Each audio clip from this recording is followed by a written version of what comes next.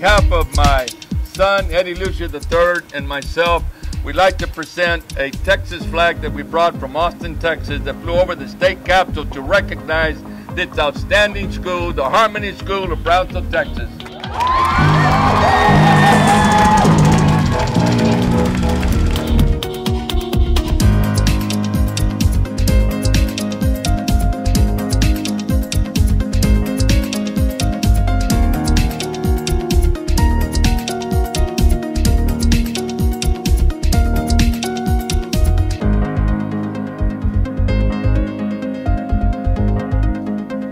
Harmony Science Academy Brownsville is holding its third annual STEM Festival.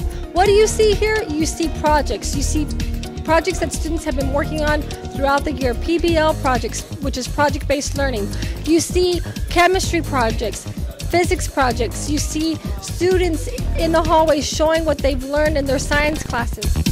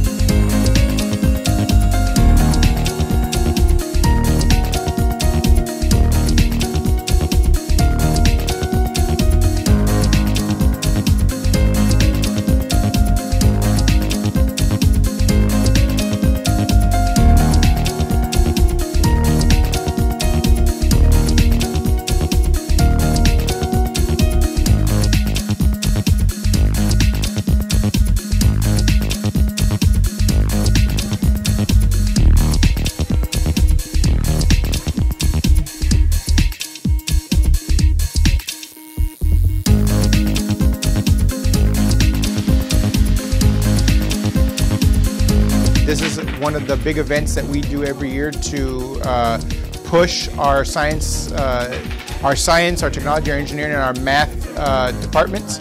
Uh, every year it's been a great success and this has been another big success for us. We use computers to, to uh, do our social studies stuff.